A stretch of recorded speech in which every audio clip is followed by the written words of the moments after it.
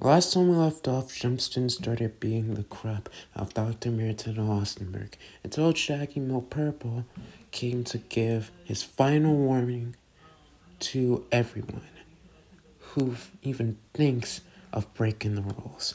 While all of that was happening, Jaylabzip was talking to Sea, well, a version of him at least. And surprisingly, Fengchi came to talk to Jaylabzip out of all people. You know what? Fine, it's a deal. What do you want to know? Philip setbacks. Well, you see, I know all of the hooded figures very well. Dartix Dimension eh, is a watcher of all dimensions. I don't really think she is interesting. She just sits back and watches others do amazing things. Her life is basically the equivalent of watching movies all day long and making sure nothing goes wrong. Nothing wrong happens. Then there's Miss Comic Relief, who is pretty busy right now, as well as Dr. Mirratado Austinbur. And the Overlord, well, he's an overlord, a tyrant, and I doubt he will be willing to give up any useful information for some of mine, so that leaves you. Fengchi said. Still didn't answer my question. Caleb was interrupting. I want to know simple stuff like your childhood, your friends, maybe your relationship with the Overlord. Stuff like that. In fact, she said. Oh, okay, well, if I tell you this, I want you to tell me more about your hooded figure friends. Deal? Jaylabzip asked. Deal. Fengchi replied.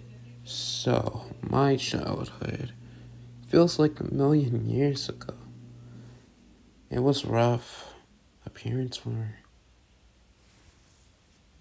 killed right in front of me, executed at a young age, Joseph said. Oh, wow. Um, I'm sorry, I guess. God dang it, I'm so bad at things like this, Fengchi said.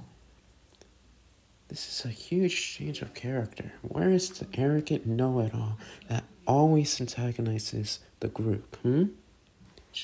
Back. Oh, shut up. He's still here. Fengchi said. Now, it's your turn, Philip said. What do you mean? Oh, okay. Well, for my childhood, um, I used to be a little kid that was literally the opposite of who I am now. Respectful, kind, etc. I know, hard to believe.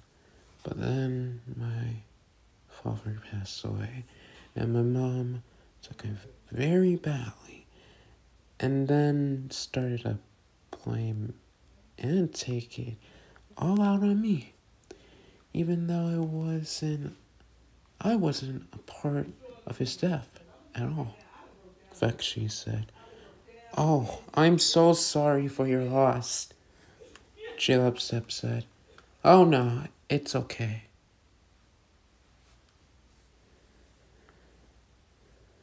It's not your fault. I'm just glad he's in a better place now, claimed. Um, let's change topic. Who were you talking to before we had this conversation? Fengchi asked. What? Oh, I wasn't talking to anyone, Phillips claimed. Look, I saw you yell at, well, basically nothing. Hey, um, do you have any mental issues or something similar? Fengchi asks, What do you mean yell? Fengchi, mental issues? I don't have mental issues, at least none that I know of.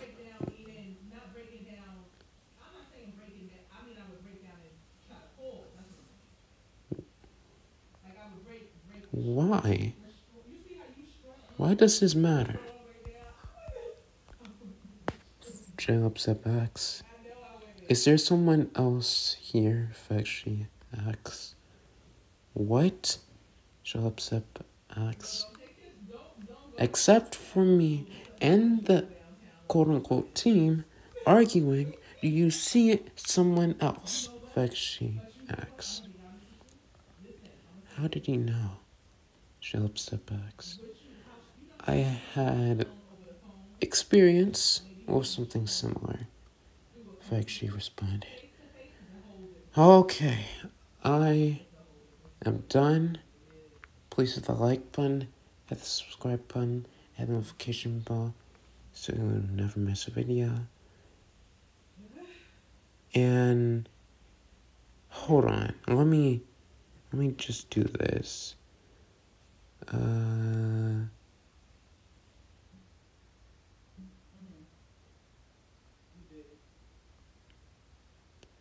So, I guess I'm giving out shoutouts now.